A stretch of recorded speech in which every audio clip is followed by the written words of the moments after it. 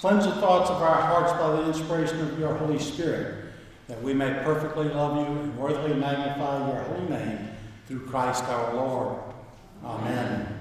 Lord, have mercy. Christ, have mercy. Lord, have mercy. The Lord be with you.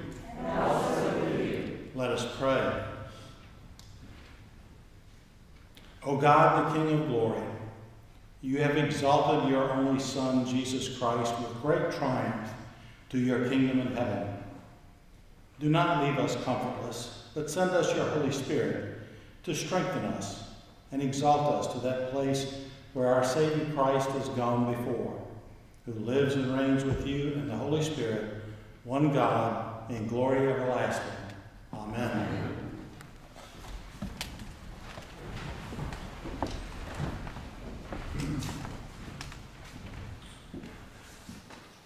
A reading from the book of Acts. In those days, Peter stood up among the believers, together the crowd numbered about 120 persons, and said, Friends, the scripture had to be fulfilled, which the Holy Spirit through David foretold concerning Judas, who became a guide for those who arrested Jesus. For he was numbered among us and was allotted his share in this ministry.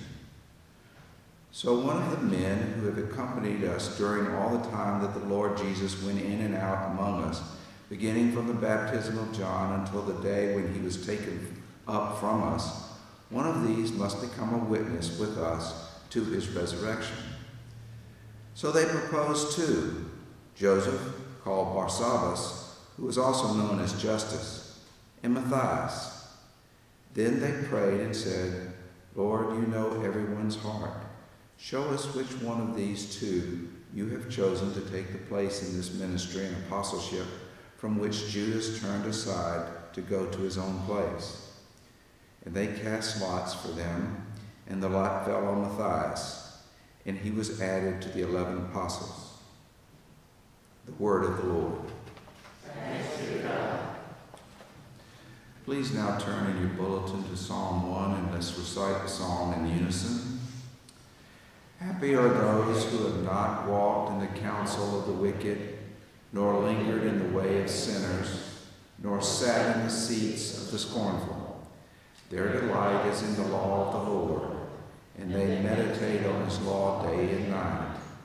They are like trees planted by the streams of water, bearing fruit in the due season, with leaves that do not wither. Everything they do shall prosper.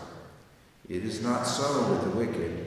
They are like chaff which the wind blows away.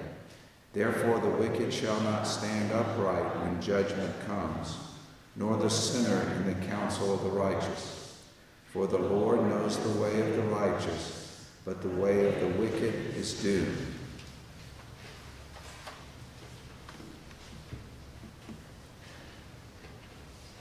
A reading from the first letter of John. If we receive human testimony, the testimony of God is greater.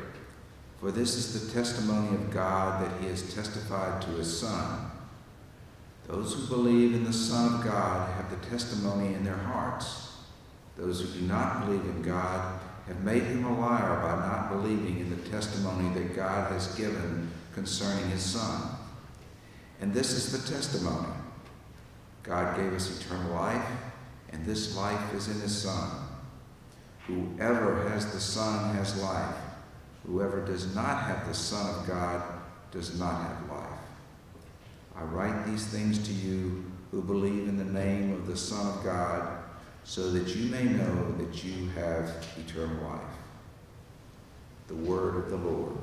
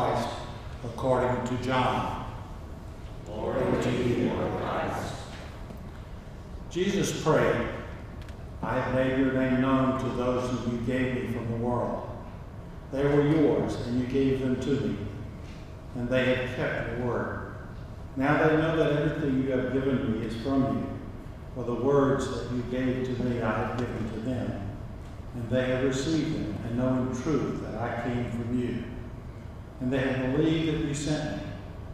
I am asking on their behalf. I am not asking on behalf of the world, but on behalf of those whom you gave me, because they are yours. All mine are yours, and yours are mine, and I have been glorified in them. And now I am no longer in the world, but they are in the world, and I am coming to you. Holy Father, protect them in your name that you have given me, so that they may be one as we are one. While I was with them, I protected them in your name that you have given me.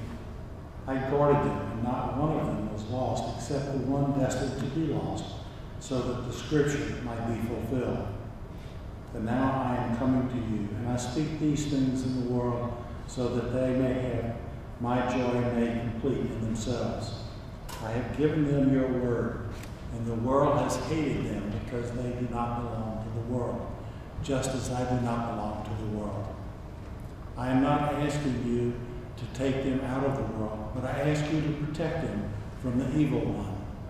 They do not belong to the world, just as I do not belong to the world. Sanctify them in the truth. Your word is truth. As you have sent me into the world, so I have sent them into the world. And for their sakes, I sanctify myself, so that they also may be sanctified in truth. The Gospel of the Lord. Praise to you, Lord Christ.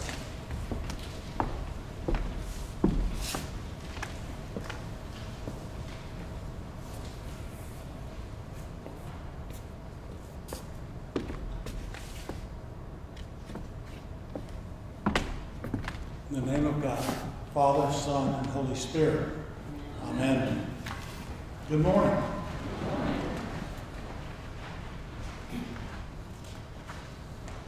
Over the past decade,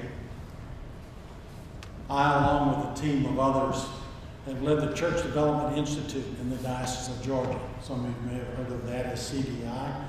And y'all had a team that was attending.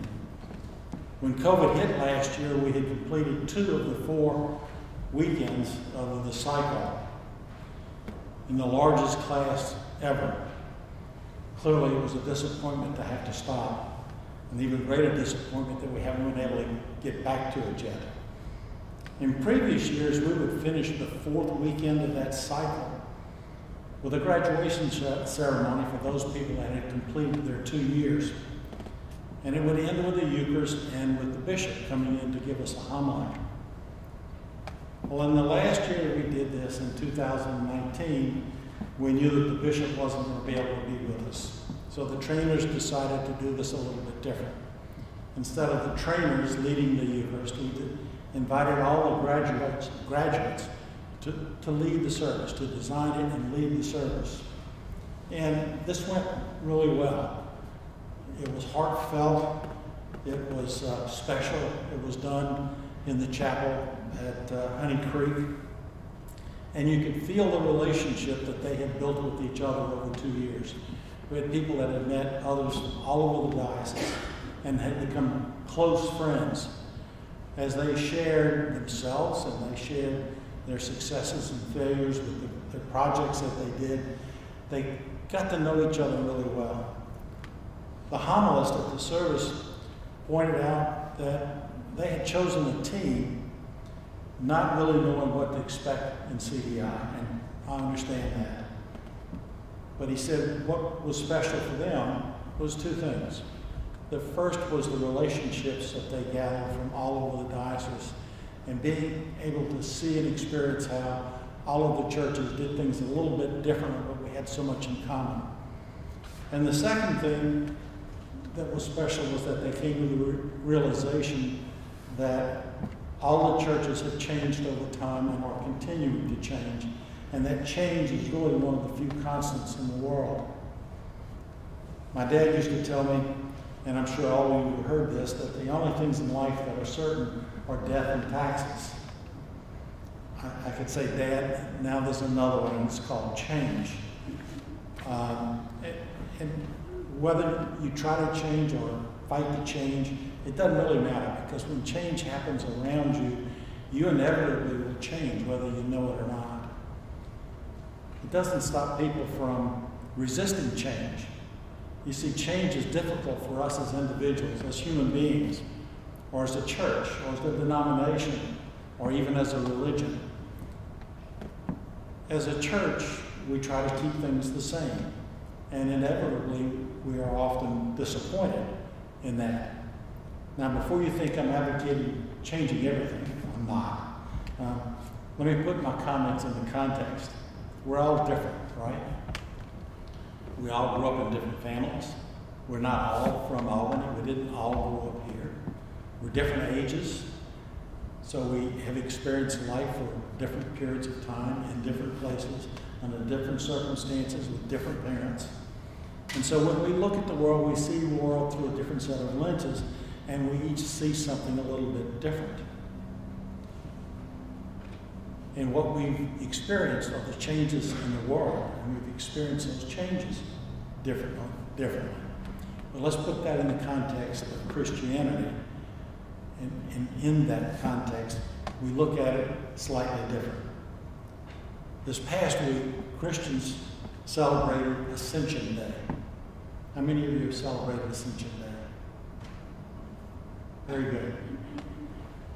Uh, it's one of those holidays, it's a special feast in the, in the, in the life of the church, yet it always occurs during the middle of the week because it's 40 days after Easter. And so it's never on a Sunday. So rarely do we have a church service in a church where we celebrate it. But Ascension marked a significant change in the life of Christianity. As I think about other major events in the liturgical year, we have things like the incarnation, the birth of Jesus, the death of Christ on the cross, the resurrection, ascension, obviously I just mentioned, and Pentecost, the day that the Holy Spirit descended among the disciples. These are historical events. They haven't changed since they occurred. And we celebrate most of them each year. Not all but most of them. And those things have become constants in the lives of Christians. Yet at the time that they occurred, they represented monumental changes in everybody's lives and in the life, particularly, of Christianity. The traditions that we celebrate around these events are different in different parts of the world, from denomination to denomination, and from generation to generation. But the events themselves have not changed since the beginning. And there are other changes within our church. You know, things like changing from the 1928 prayer book to the 1979 prayer book. I could look around the room and see that there's some people that are saying, what was the 28 prayer book? Because they don't know any other prayer book except the one that we've got now. But that was a big deal at the time. Yet we still celebrate Holy Week, Easter, Ascension, and Pentecost, just as our forefathers did, going back some 2,000 years. So there are some constants, but there are also changes that are going around those constants. Said differently, we still bring people to know and love Christ, but we're doing it in different ways than they did 2,000 years ago. We're using different traditions, different language, different music, different liturgies, all of those things surrounding are different. How we go about doing those things have changed because the world has changed around us. How we do these things at St. Paul's is different from other Episcopal churches. We don't all do, this, do it the same way from church to church. We don't do it the same way that Anglicans do it in England or Australia or Kenya or Singapore. And I think God is well pleased with this because God made all of us different from the beginning and expects us to be different. When your new rector arrives, you can expect more changes. Because that rector will probably do things different than the way I do it, and I do it different than the people that have come before me. Your ministries will probably change to some degree. You'll still celebrate the same feasts. Those don't go away, those are constants. And you, will still do many of the same ministries, although you may find new and different ways to do them. If nothing else, I think we need to acknowledge that Jesus came into the world and changed it in a radical way. He preached a different gospel. That was real change at the time. It changed the, the world as, as people knew it, and it continues to change even today. But you have to admit there are a lot of differences in the little things, like the words that we use in our liturgy. We tend to think of the role of women in the church as a huge change. Yet I can imagine Jesus saying to himself, Well, they finally got something right. Jesus came into the world to change the world as humans knew it. So, in this sense, change is something that was created by God. If we follow this logic, it seems to me that God would want us to engage change and be willing to change in order to fulfill the commandments. God also gave us a gift of choice. He gave us the ability to think and to use this ability to make informed decisions. We can choose to have a relationship with God or not. We can choose to have a relationship with our neighbors or not. We can choose to bring the gospel of Jesus to those that don't have a relationship with God or not. These are choices that each of us can make. Just as the apostles chose to carry the gospel to the world, but they said yes. If you think we've experienced change, think of what the apostles experienced. Here was God incarnate walking among them, although I'm not sure all of them recognized him as God incarnate at the time. Uh, but they did recognize him as a friend, a teacher, someone special, someone that they loved, and that he loved them back.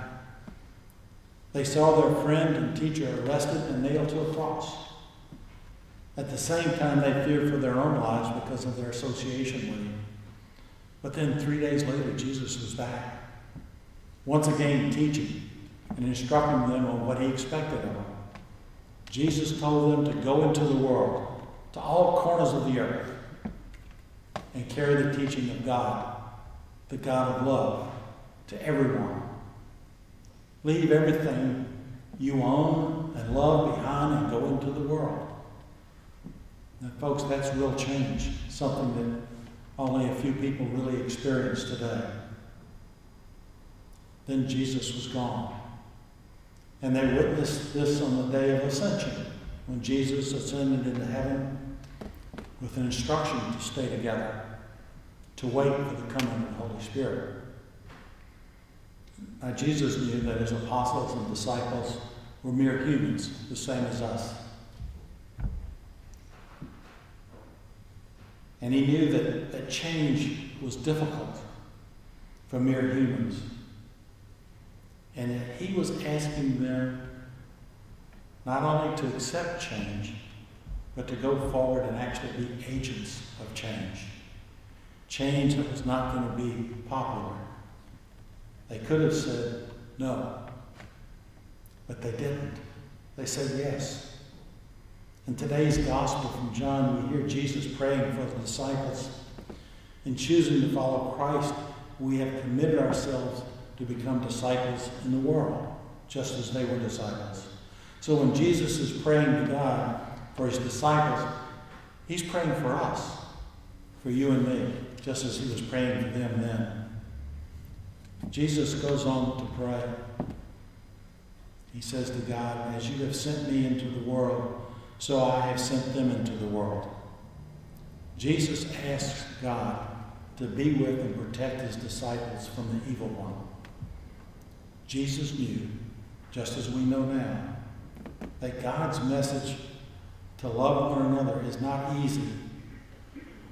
It's going to be difficult for many people, particularly those that seek power, those that value wealth and self above all else. So Jesus asked God to be with those who believe in his name and carry the gospel to the entire world. And from that time in history to today, the disciples have continued to change the world. They've continued to bring the gospel to those who don't believe, to give them hope and access to eternal life. In doing so, changing lives forever. And that's what we're called to do as disciples, as modern day disciples. Jesus' prayer to God is for God to be with us and protect us, to give us the words to go out into the world and change lives. You notice Jesus didn't ask to keep the world the same, but to be change agents, to go forth into the world and change lives. Mother Teresa is reputed to have said, Not all of us will do great things for God, but each of us can do small things with great love. God has chosen us. God has blessed us. God has taught us. God fills us with the Holy Spirit and sends us out into the world so that all the world will know that God is love. In his holy name, amen.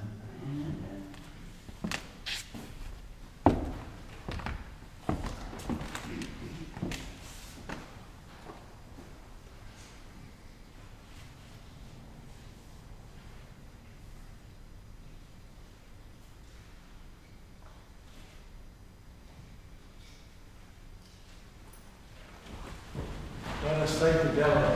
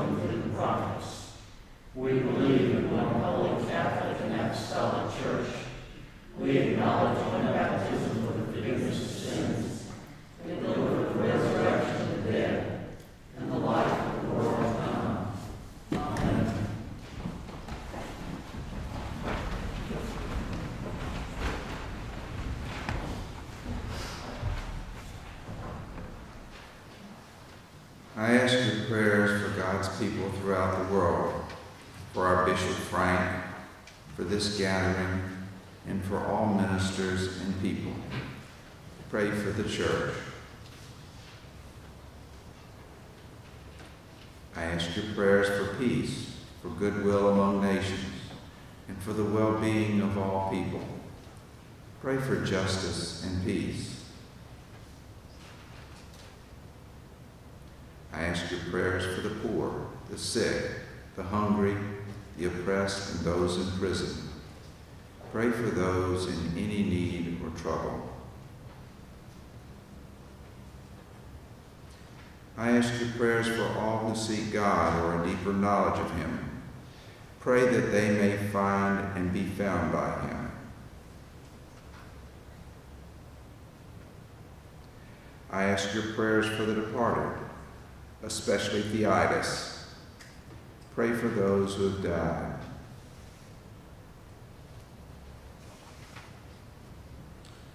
I ask your prayers for Mary, Pat, Lauren, Carmela, Madge, Ann, Carol, Jack, Sylvia, David, Kay, Jane, Bud, Jim, Mary, Andrew, Joel, and John.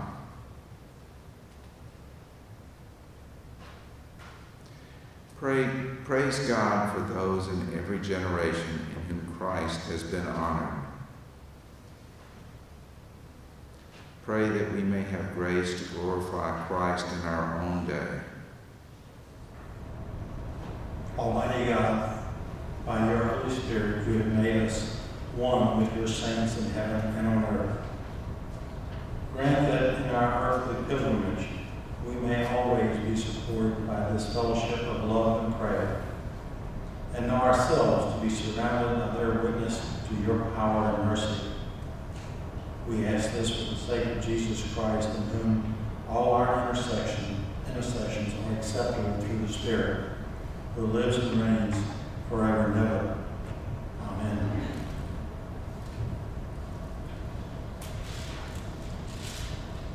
Let us confess our sins against God and our neighbor.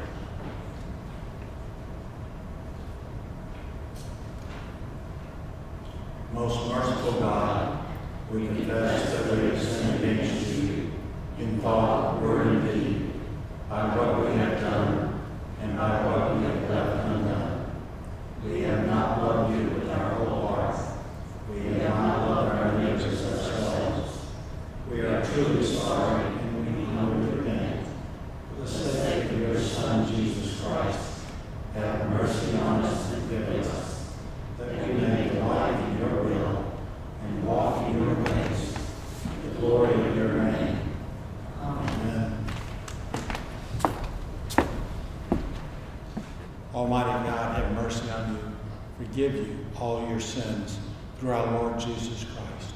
Strengthen you in all goodness and by the power of the Holy Spirit, keep you in eternal life. Amen. The peace of the Lord be always with.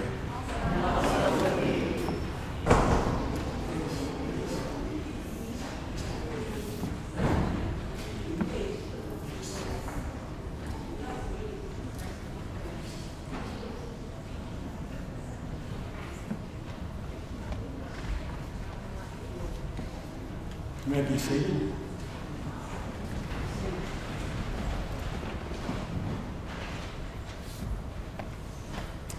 It's good to see everyone this morning. It's a beautiful day outside, and I hope we get to see some of it when the service is over. Um, today, we're going to have acolyte training immediately following this service. So when the service is over, um, take about five minutes, take a little break. Um, acolytes, you can get unvested if you like, and uh, we'll meet in the back of the church. And parents, if you'd like to come along, we'd love to have you sit in with us so that you'll see what your, your children are going to be doing as acolytes. And if there are any adults that would like to be acolytes, we'd love to have you participate and uh, participate in the training. The second item today is uh, how we're going to worship in, uh, on Sundays, and we've gotten new guidelines, as I mentioned last week, from the bishop. Immediately after issuing those, uh, we saw that the CDC issued some new guidelines that basically said you don't need to wear masks if you're fully vaccinated. That's fine, but they didn't really address churches where we're going to have people who are vaccinated and those who are not, particularly the younger generation. Um, they didn't talk about singing without a mask. We can sing with a mask, but they didn't talk about singing without a mask. And so the, the bishop has said, let's be cautious about removing masks. Let's uh, respect everybody else uh, that's here and uh, continue to wear the mask, whether you're vaccinated or not, just to protect everybody else that's here. And I think that's a good stance to take at this time. We're all hopeful that we'll get to the point where we can take our masks totally, but we're not quite there yet, but we're making progress. Um, the two big changes uh, for next week, going to say there's three really. Uh, you'll notice when you came in today, uh, the ushers were not asking you where you were going to sit, so we're not required to do contact tracing anymore. Um, so that's a big change for the ushers who've done a fantastic job over the, the last year keeping track of where everybody sat in the event that we had to do some contact tracing. The second thing is that we are going to sing, and we're going to start that next Sunday. We will sing with masks, but everything that we used to sing at the 10:30 service, we will be singing again starting next Sunday.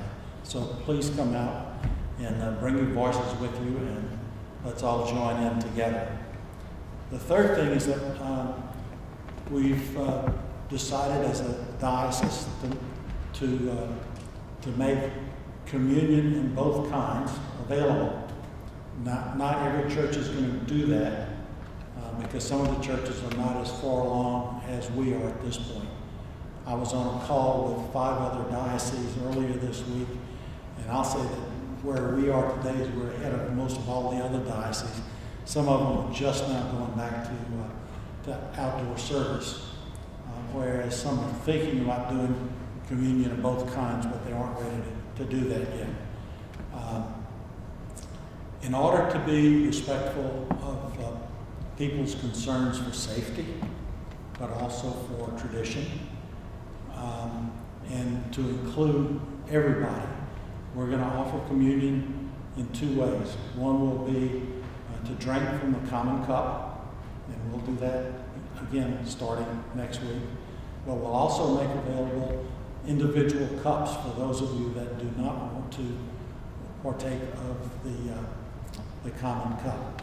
To participate and, and drink from the common cup, we're going to ask on an honor system that you have had both of your vac vaccinations and that you're, they're fully effective um, in order to, to take from the common cup. If you've had the vaccinations and you still don't want the common cup, we've got the individual cups available. And for everyone that has not been vaccinated, we're going to ask that you uh, take communion from the small individual cups.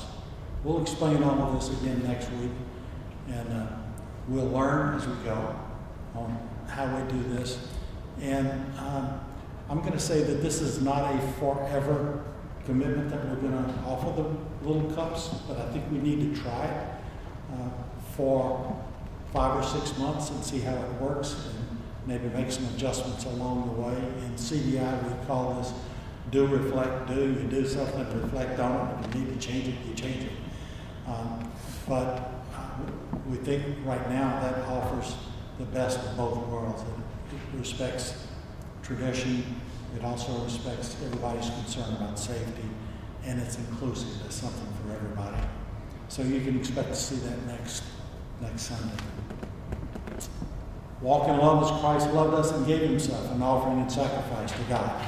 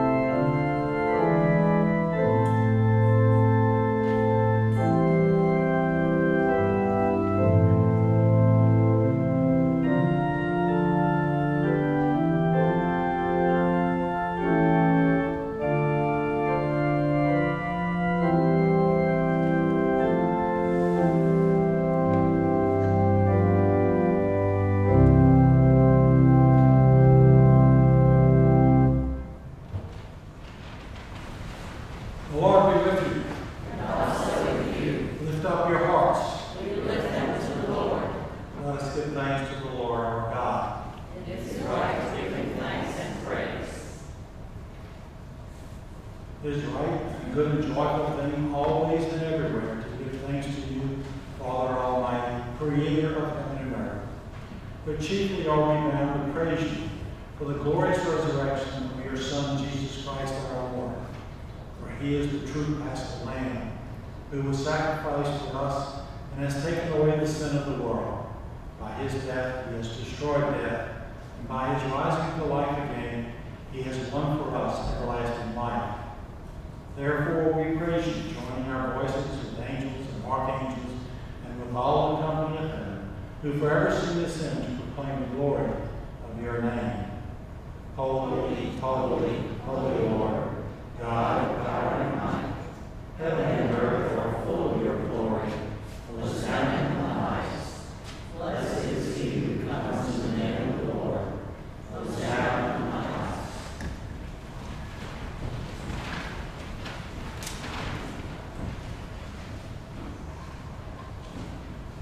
Holy and gracious Father, in your infinite love you made us for yourself. And when we have fallen into sin and become subject to evil and death, you in your mercy sent Jesus Christ, your only and eternal Son. We share our human nature, to live and die as one of us, to reconcile us to you, the God and Father of all. He stretched out his arms upon the cross and offered himself in obedience to your will, a perfect sacrifice for the whole world. On the night he was handed over to suffering death, our Lord Jesus Christ took bread. And when he had given thanks, he broke it and gave it to his disciples and said, Take, eat. This is my body which is given for you. Do this for the remembrance of me. After supper, he took a cup of wine. And when he had given thanks, he gave it to them and said, Drink this, all of you. This is my blood of the new covenant, which is shed for you and for many for the forgiveness of sins. Whenever you drink it, do this for the remembrance of me.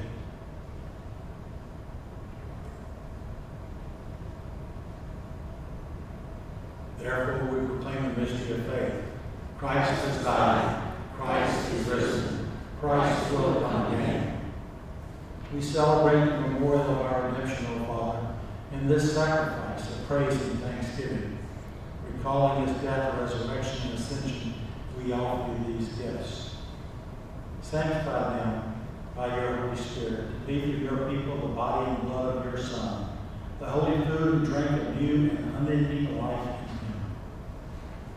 Sanctify us also, that we may faithfully receive this holy sacrament and serve you in unity, constancy, and peace. And at the last day, bring us with all your saints into the joy of your eternal kingdom. All this we ask through your Son, Jesus Christ, by him and with him and in him, in the unity of the Holy Spirit. All honor